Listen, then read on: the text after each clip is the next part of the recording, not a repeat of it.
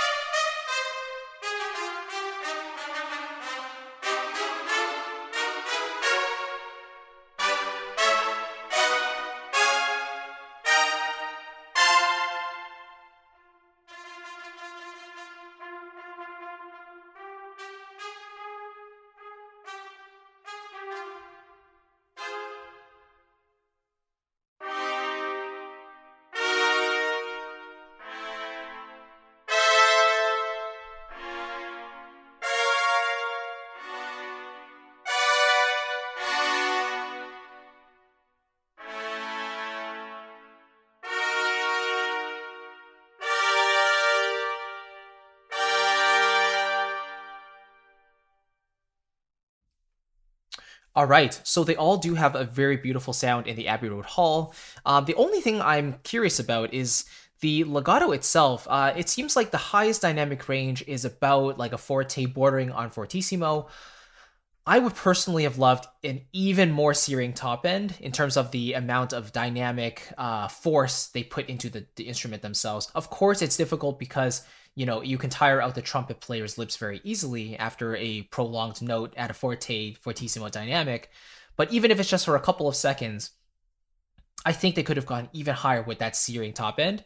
Um, for example, the Cinebrass trumpets uh, actually go, you know, really, really far in that dynamic, and even um, the Cinematic Studio brass trumpets, uh, they they really achieve that fortissimo uh, kind of register. And I would have loved to hear that here as well. Uh, but in general, everything is very smooth. It sounds great. And the legato itself uh, seems to respond very well, especially for that slower melodic type of playing. You can really hear those some of those transitions, especially when you're going from octaves, right? Like push up the mod wheel you can hear that little transition there, which is really beautiful. Um, but for faster playing, you know, it doesn't hold up as well because you get some of that smear in there. So I do think that this library is kind of meant for that slower style of playing, but you know, more majestic and bold rather than being super agile and all of that. So just keep that in mind. That's just a personal impression, but something to be aware of if you are investing in this library. But in general, I think the size of it is, I think like 10 gigabytes, if I'm not mistaken. So it's not overly large um, and it, do, it does what it sets out to do very well. I could definitely see myself using this in maybe combination with Cinebrass um, if I need that extra juice in the trumpets, because I think the trumpet section in Cinebrass Core is uh, three trumpets as an ensemble, and this one is four. So that would be seven trumpets in total, which is plenty for any cue, you know? But anyway, yeah, that's kind of a little uh, look into the Spitfire Audio Abbey Road 1 thematic trumpets. Cool name, by the way.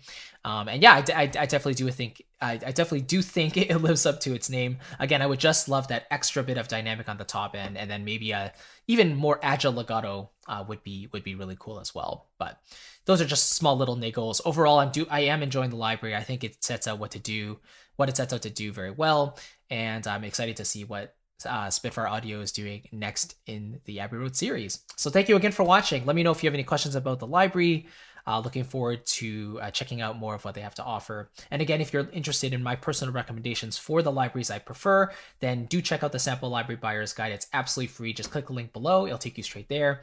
And it's my gift to you for checking out this video. Uh, it basically categorizes all of my favorite libraries by orchestral sections like strings, winds, brass, and percussion, but I've also listed the prices as well and how I personally use them so you can assess, get a sense of um, you know, what you're investing in and actually how to use those libraries once you do get them. So I uh, hope you enjoyed that. Thank you so much again for watching. I'll catch you in the next video and take care. Bye-bye.